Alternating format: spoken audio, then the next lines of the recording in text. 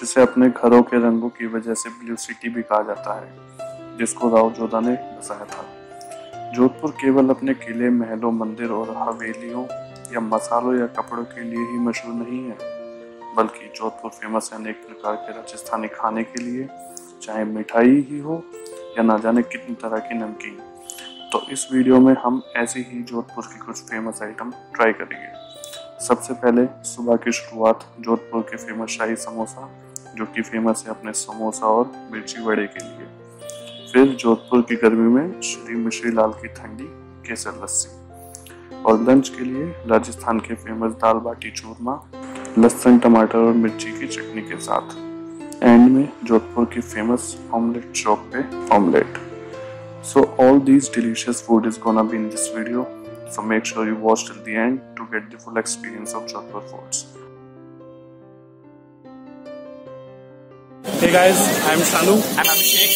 और इस वक्त हम आ चुके हैं जोधपुर में जोधपुर के फ़ूड को एक्सप्लोर करने के लिए। और इस टाइम हम क्लोक टावर के बिल्कुल सामने खड़े हैं।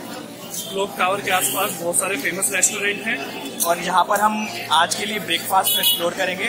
तो चलिए एक्सप्लोर करते हैं। चलिए।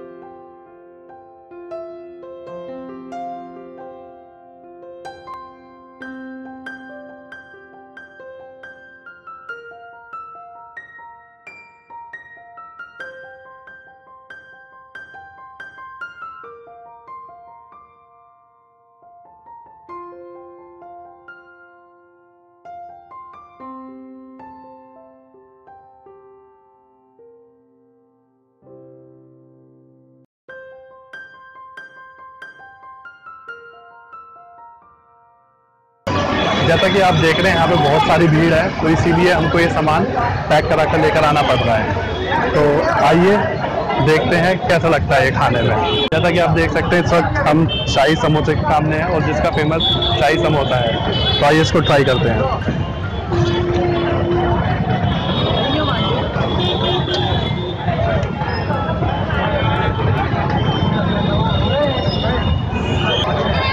टेस्ट अच्छा है। थोड़ा मीठा मीठा है इसके अंदर। काजू है इसके अंदर। हम्म, ये बहुत गर्म है। आई थिंक ये काफ़ी अच्छा समोसा है।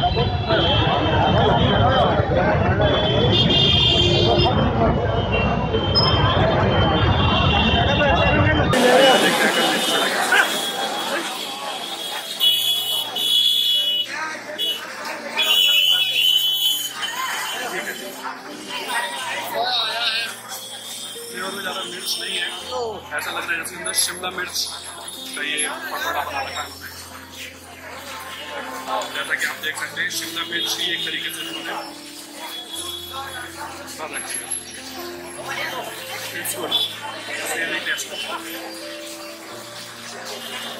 तो अब इतना नमकीन खाने के बाद आप कुछ यहाँ पे मीठा ट्राई करते हैं। यहाँ पे एक मोस्ट फ़ेमस एक लस्सी वाले की शॉप है। लस्सी ट्राई करते हैं।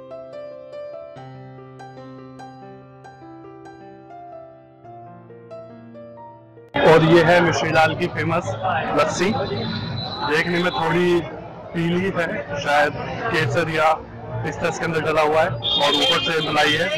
तो एक मेरे लिए एक आपके लिए। लीजिए नहीं नहीं मज़ाक कर रहा हूँ। ये अभिषेक के लिए। आपको यहीं आके पीनी पड़ेगी।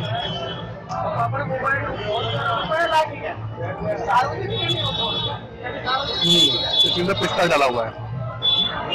और ऊपर से मलाई आप देख सकते हैं इसके अंदर। पूरी मलाई से, और कितनी थिक लस्सी है ये नमकीन के बाद मीठा अच्छा है हम्म,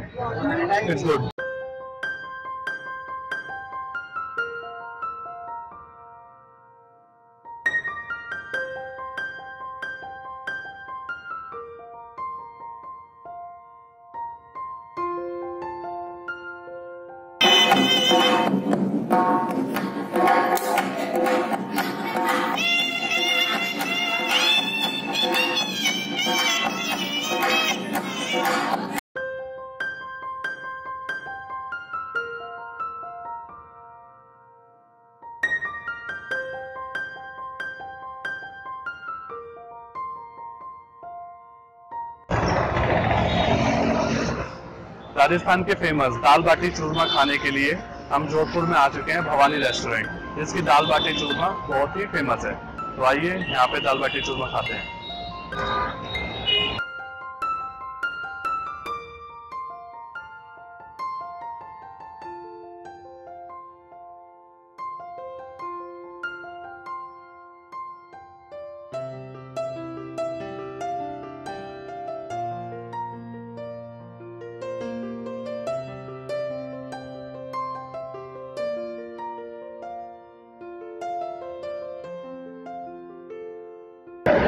और इस वक्त हमारे पास यहाँ के सारे आइटम आ चुके हैं। ये बाटी, इसमें 20 एम देसी घी, इसके साथ ये दाल और चूरमे के लड्डू और ये मिर्च का अचार और ये लहसुन की चटनी और उसके साथ ये छाछ। तो आइए देखते हैं कि कैसा लगता है खाने में। आइए सबसे पहले दाल टेस्ट कर कर देखते हैं दाल कैसी है।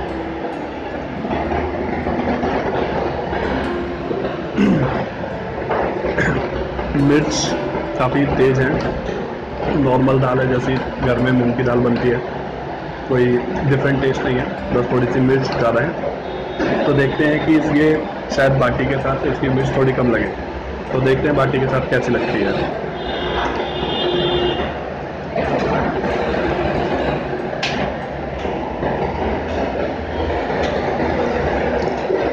बाटी के साथ इसका टेस्ट फिर भी थोड़ा अच्छा आ रहा है।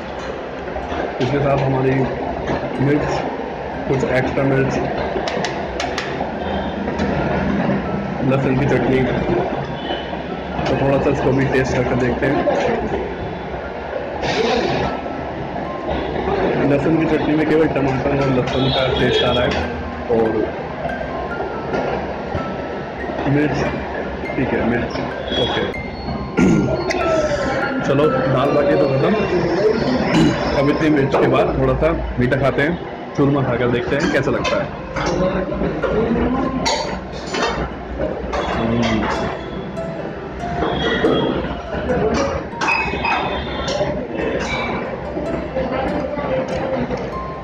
ना ज़्यादा मीठा है।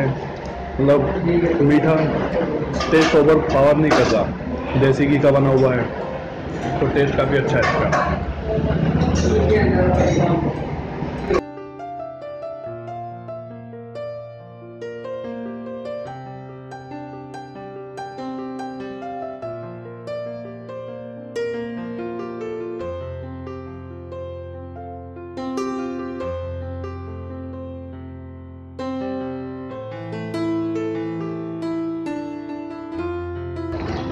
घंटा घर के बिल्कुल पास एक ऑमलेट की फ़ेमस शॉप है। तो यहाँ से जो सबसे यूनिक आइटम है, वो आज हमने लिया है, जो है cheese sweet omelette yes sweet omelette तो ये बिल्कुल ही यूनिक आइटम है। तो इसीलिए हम इस ऑमलेट को ट्राई करते हैं और टेस्ट करते हैं कि स्वीट ऑमलेट कैसी लगती है। तो इसमें ऑमलेट है और चीज़ ये चीज़ है इसके अंदर। और स्वीट देखते हैं इन्होंने स्वीट कैसे कर रखा है।